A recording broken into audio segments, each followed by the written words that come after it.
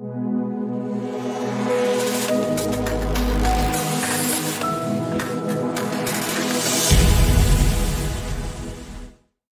person here this morning, but I thank God for each and every one of you because it's by faith that you believe that God speaks to a five foot six, bald head, black African American, and, and the word of God that comes through my mouth is for you. And I don't take that for granted because I know as the temperature soars, there's a great temptation to want to say, I'm packing it in, I'm staying at home to get ready for next week. But I thank you in advance for this week. I thank you that you've made step of faith part of your worship experience this morning. And let's give God a hand praise.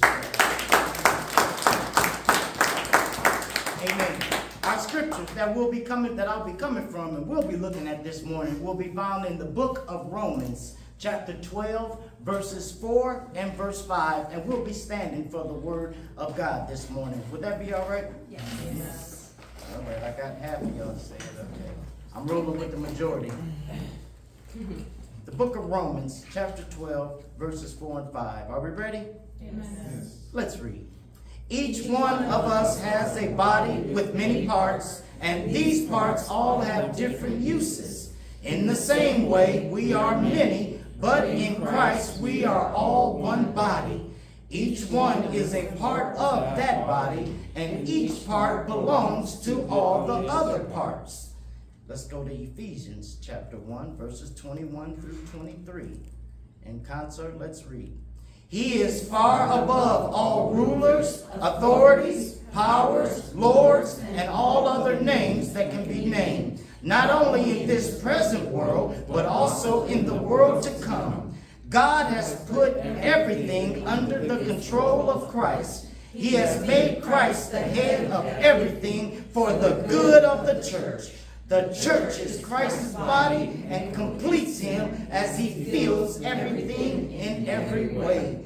Father God, I thank you this morning that your word is traveling right as we're speaking, I thank you, Lord, that you're about to perform a spiritual MRI. I thank you this morning, Lord, that your word runneth swiftly. And I thank you, Lord, that it'll accomplish the very task that it was sent out to do. I thank you where one might need encouragement, you'll, it will be provided. I thank you, Lord, that where one might need to be challenged, Lord, I thank you that it will be provided. One might need a confirmation. I thank you, Lord, that you'll be multitasking all throughout this service through your word. Thank you, Lord, for the way you, you treat us with your word. And I pray, Father, this morning that you would hide the messenger behind your cross and that my words would be your words, Lord, and we would be one. And it's in Jesus' name that we ask these things. Somebody say, Amen. Amen. You may be seated.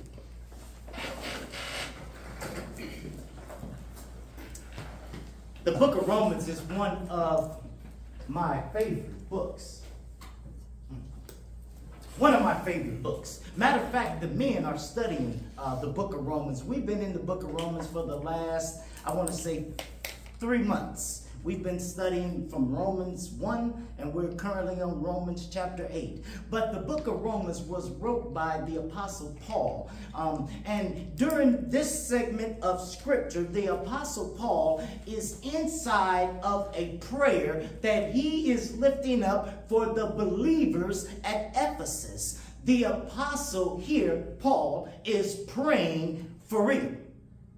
He is praying for real, not the, the little good bread, good meat, good God, let's see prayer. No, no, no, no. See, I want you to understand so my brother and sister. Paul, the apostle, is aware of his current situation. He understands that he is imprisoned. He understands that he's probably facing execution. He's aware and understands the, what the totality of, of what the beatings have done to his body, and as well as the isolation that he's in. He's not inside of the county jail with all the laptops and computers and the cushions. He's inside of a dark, cold, nasty dungeon. But even though he's aware of his current situation, as bleak as it might look, he is also aware of the situation of the church in Ephesus. My brothers and sisters, we are actually reading Paul's prayer.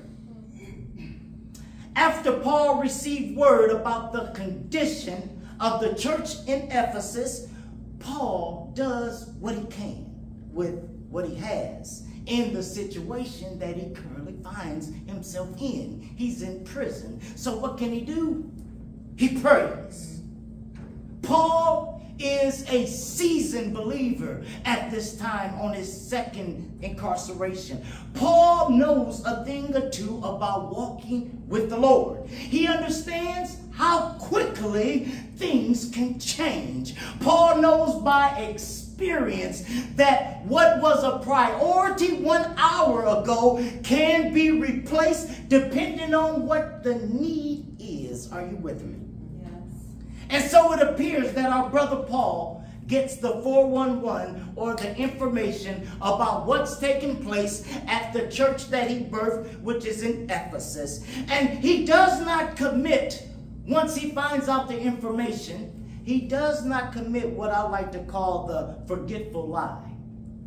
Y'all know what the forgetful lie is, don't you? Step of faith, y'all know sometimes when people might ask you for prayer and you tell them, I'll be praying for you. Mm-hmm. Yeah. Or, or, or I'll be sure to lift you up in prayer tonight. But you end up lying because you forgot Oh, I'm talking about that church. I know it don't never happen to y'all. I got to go across the street to that other church. But but sometimes we, we tell folks we're going to pray for them, but because of priorities changing and shifting throughout the day, we actually forget sometimes. Not because we were being lazy, not because we were slothful, but certain things just enter our mind and, and certain things get lost in the shuffle.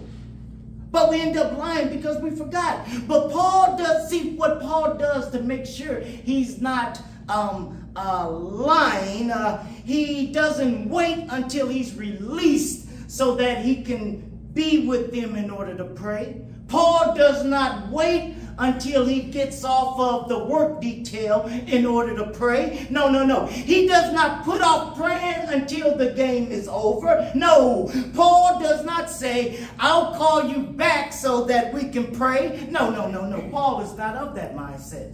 Paul is of the mindset, if y'all can't come and visit me, I'll i am still praying. If I can't get there and touch and agree with you, I'm still praying. If the prison guards around me are cussing and fussing, guess what? I'm still praying. If you can't co accept collect calls, I'm praying. Nothing is going to stop me or hinder me. There is no barrier that can prevent me. There is no law that can prohibit me. There is no rule that can restrict me from praying for the church. Amen. Amen. Praise God. Amen.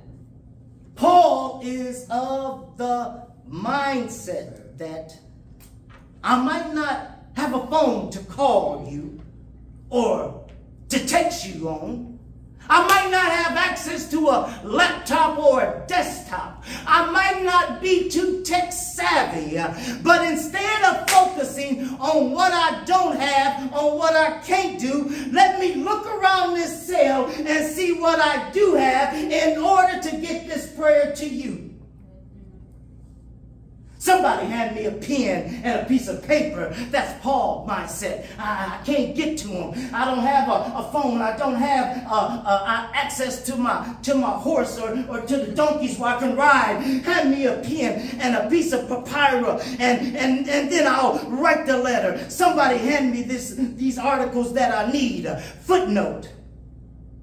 We can learn something from the Apostle Paul this morning. Paul should be etched in our minds as he goes through these troubled times while he's incarcerated, still thinking about the church. Inside of his own hellish storm, he has the bold audacity to step outside of that and be concerned for somebody else.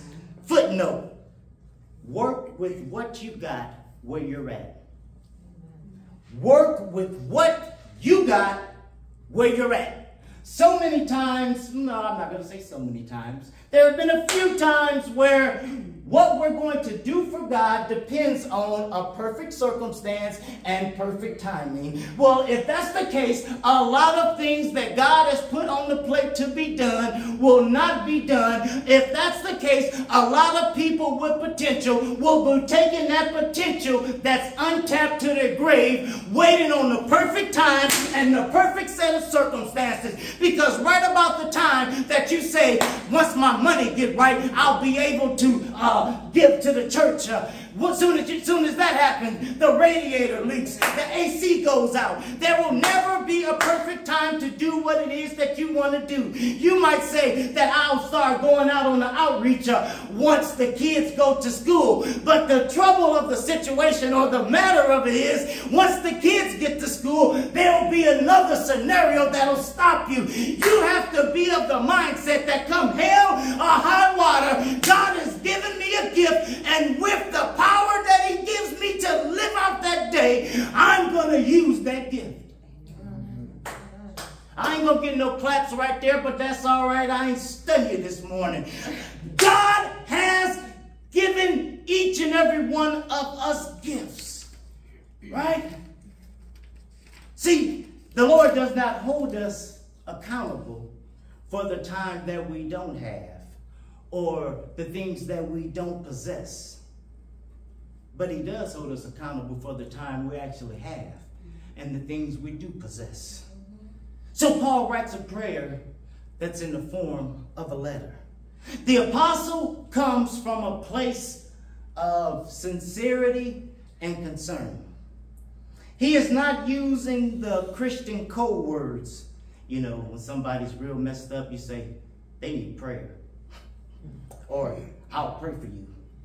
You know, that's the new thing that you can tell when you get on the phone. Hey, uh, hey, hey, sister, um, can I talk to you? Have you heard what's going on with Sister Robin? Yeah, uh, well, all I can say is she need prayer. You see, we, we don't we don't want to we don't want to we found a slick way to gossip in the name of Jesus. We don't want to say we don't want to come straight out and gossip because we've been saved, our life has been changed. Out with the old, behold, the new has come. So, oh, such and such needs prayer. See, see, in order to gossip or to tear a person's character to shreds, we come up with code words. Uh, uh, I'll pray for you. When you hear somebody say that and they ain't got the right facial alignment, they're saying that you're really screwed up. You're really messed up in this season. His prayer, Paul's prayer, though, was initiated by concern. When you receive information about someone, are you concerned or nosy? When you receive information about someone, are you concerned or nosy? How do you tell? How do you tell? Well, if you first take the information that you received about someone to God in prayer, you are concerned. Mm -hmm. But if you first get on the phone and share the information with somebody else, I'm going I'm hate to say it, you're a little nosy. You see, Paul was concerned about the believers because he could relate to these believers. How do you know that Paul was concerned, Pastor? How do you know that Paul had a relationship with these believers, Pastor? Listen to the words that he uses in prayer. In this prayer that Paul writes down to the church at Ephesus, Paul thanks God, thank you for their faith. He prays that God would give them a spirit of wisdom and revelation in order to know Jesus better. He prays that they would have confidence in God's calling them to their salvation. He also wants them to know that they are God's inheritance. He wants them to know that they are God's inheritance. A lot of times we hear folks preach and teach about our inheritance in Christ. We hear about what's in it for us. Uh, we get the peace. Uh, we get the joy. We want the triple anointing. We want the restored anointing. I want the double blessing. I want the manifold blessing of God. Everything that we get in God. But have you ever read the Bible where it says that God is getting something out of each and every one of us? We are his inheritance.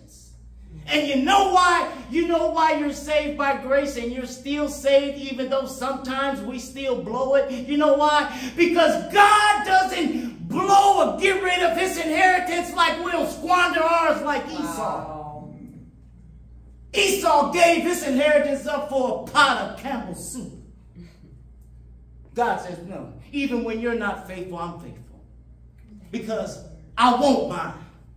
I want what's in you. I know what I've put in you. I know the deposits I've made in you.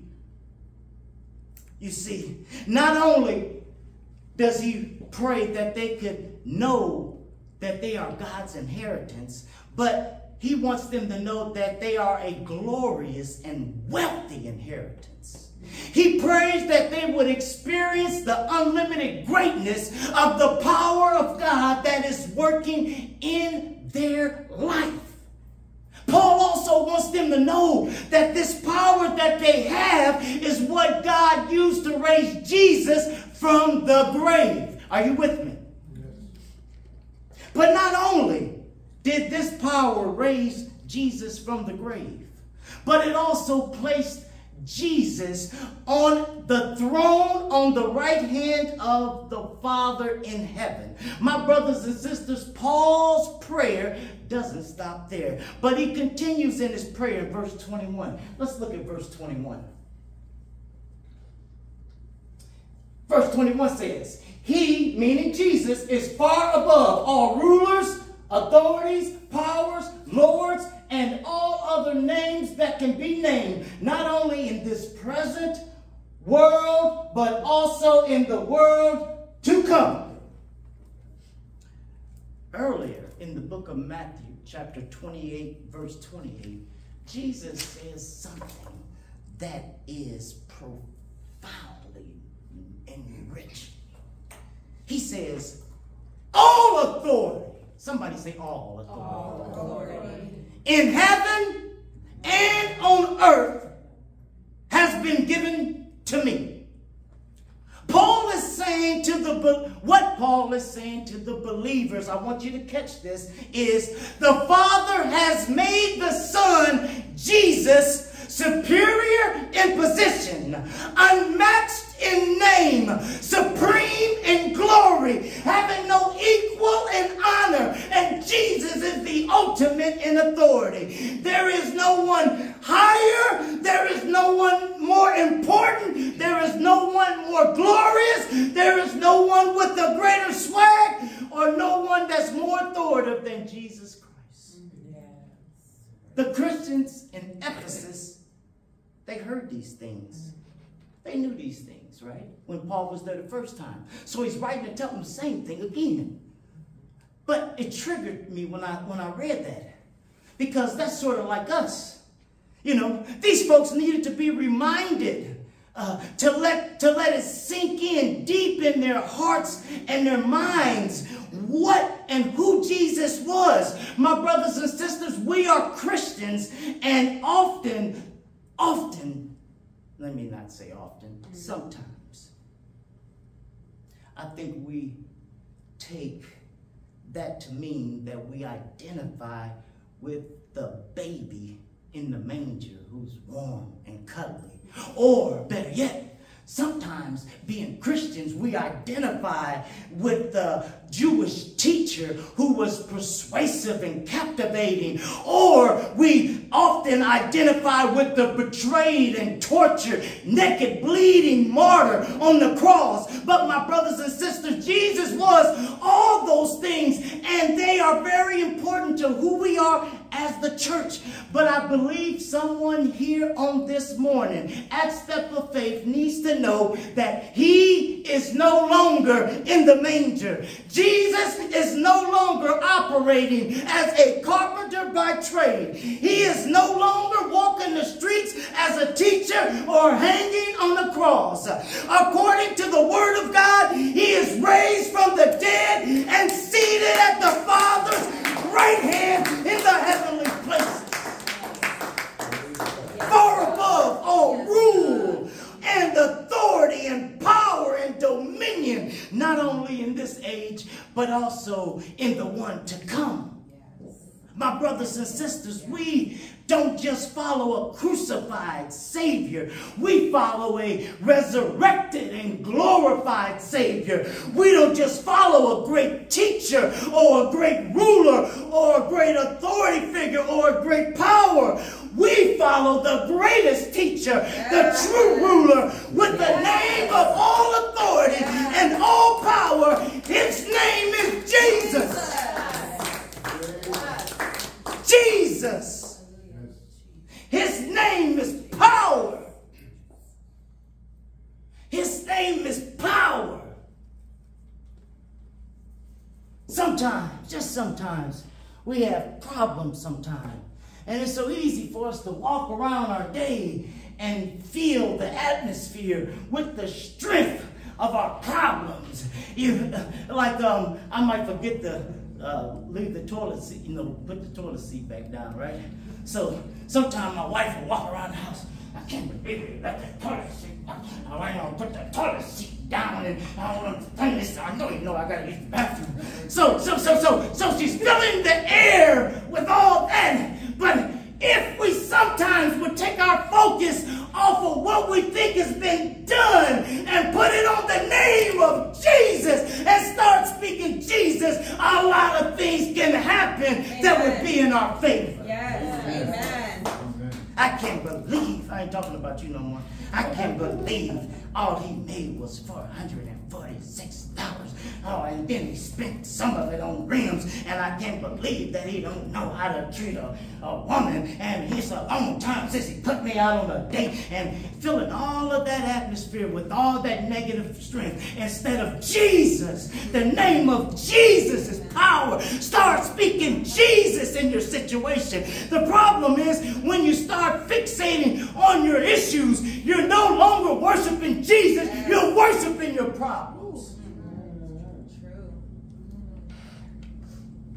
Verse 22. Oh, thank you so You're welcome. Water. Verse 22 says, God has put everything, somebody say everything, everything under the control of Christ. Yes. He has made Christ the head of everything for the good of the church. For the good of my job. No. For the good of my family. No. For the good of my friends. No. For the good of my company. No. For the good of the church. church. The church is Christ's body and completes him as he feels everything in every way. Why is that important? You know, in the book of Genesis, God gave Adam dominion and authority over the entire earth. Did you know that, Yolanda, Sister Yolanda? He gave man a dictator to not only to, to own it, but to manage it, control it. Verse 27 in Genesis says this So God created human beings in his image. In the image of God, he created them. He created them male and female. God blessed them and said, Have many children and grow in number. Fill the earth and be its master. Rule over the fish in the sea and over the birds up in the sky and over every living thing that moves on the earth. What? What a command. What empowerment. We know what happened to that, don't we? We know exactly what happened. God put him in a garden. He has multitudes, a garden of trees, a garden of fruit to eat from. God said, just don't eat from the one. Isn't that interesting that the human human nature is that we can have 5,000 free trees, mm. but it could be one little dried up tree that don't even give much fruit. The fruit is sour, and that's the one that's off limit. But instead of focusing on all the freedom we have with the 4,000 trees, we're figuring out how we can break the law yeah. to eat these sour yeah. fruits over here. True. Adam sinned by eating from the one tree that the Lord commanded him not to. And in this one act of treason by Adam, it brought death to the earth. Also, from that sin, Adam gave his authority to Satan by obeying him instead of God. Where are you getting this from, Pastor? Scripture confirms this in Romans chapter 6, verse 16. Let's look at it on the overhead. Romans, keep, give me one more. One more? Okay, for real, one more. Surely you know that you become the slaves of whatever you give yourselves to. Anything or anyone, anyone you follow will be your. You can follow sin or you can obey God. Following sin brings spiritual death, but obeying God makes you right with Him. The enemy confirms that authority was given to him in Luke chapter 4, verse 6. Put that on there, Miss D. And the devil said to him, meaning Jesus, I will give to you all this authority and its glory, for it has been delivered to me, and I will give it to whom I wish. Who gave it to him? Adam Adam. through his disobedience. You see, since it was a man who lost his authority, it would have to be a man who retrieved that authority into Jesus, the Lamb of God, who takes away the sin of the world. You see, the first Adam lost his God given dominion and authority, but the Bible says that the last Adam, Jesus, regained dominion and authority. Scripture also confirms this in 1 Corinthians chapter 15, verse 45. And it reads, So it is written, the first man, Adam, became a living being. The last Adam, a life-giving spirit. Jesus' death was the ransom paid for our sins. Let the word testify in 2 Corinthians chapter 5, verse 21 as God made him who knew no sin to become sin so that we may become the righteousness of God in Christ Jesus. Amen.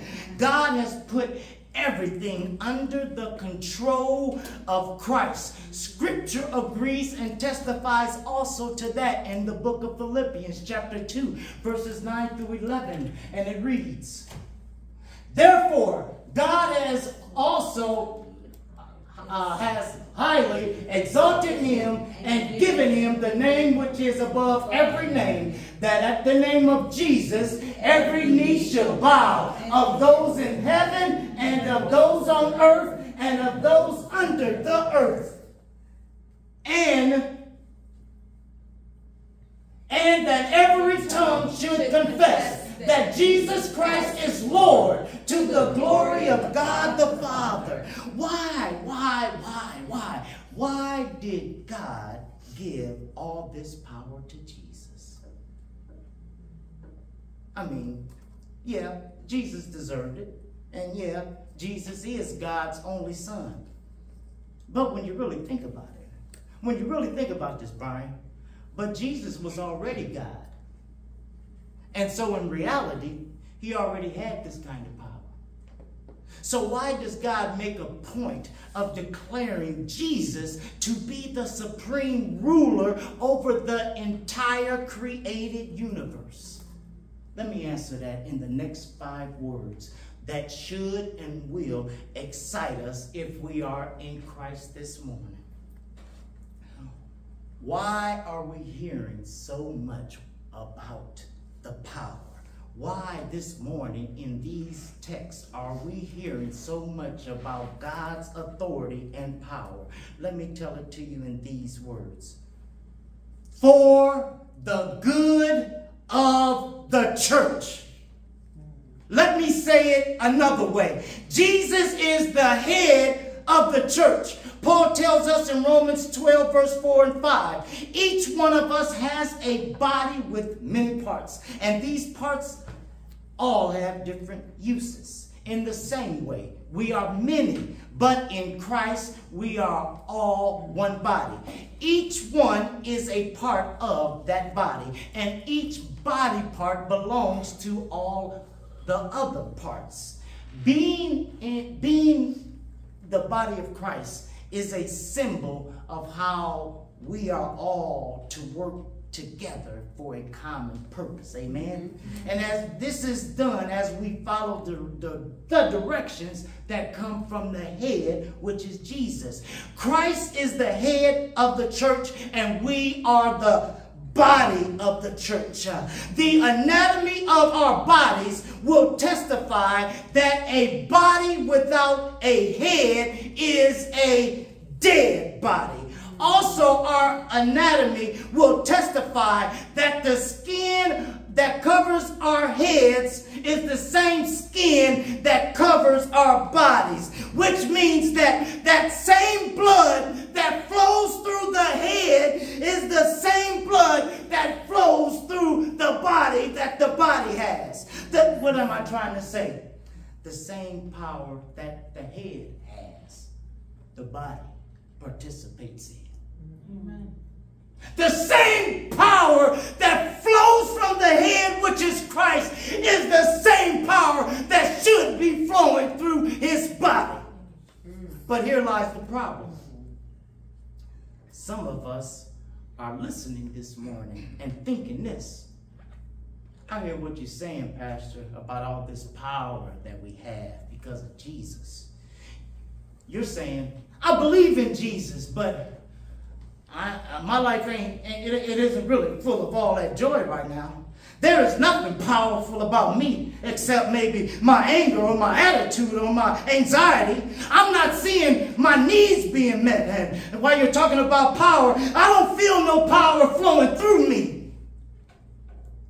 My brothers and sisters, when the Christian life doesn't seem to work and we feel like somebody lied to us, you weren't lied to.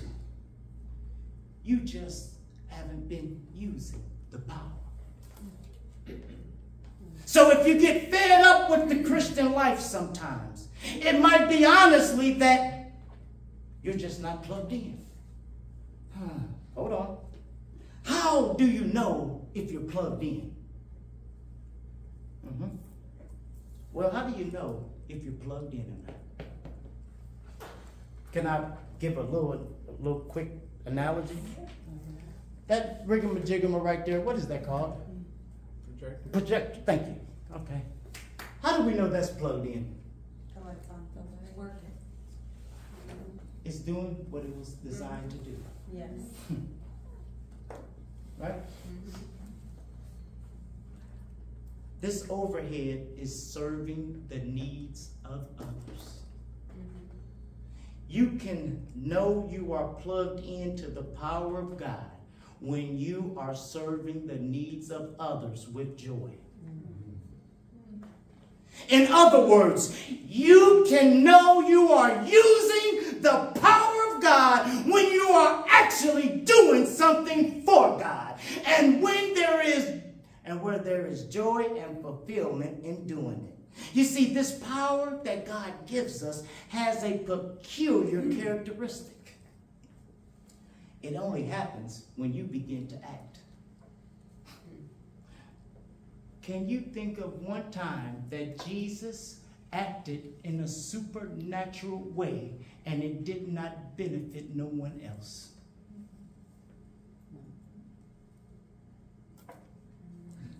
It only happens when you begin to act. When you and I begin to exercise the gifts that God has given us, then the power begins to flow, but not before.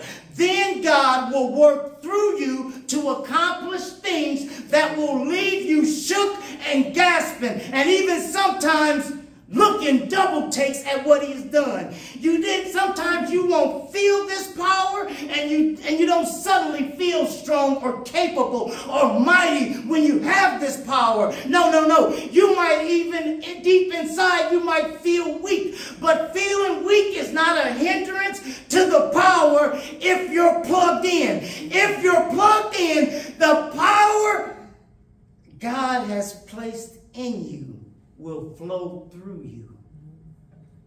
Watch this. And at other times, the power God placed in another person will flow to you.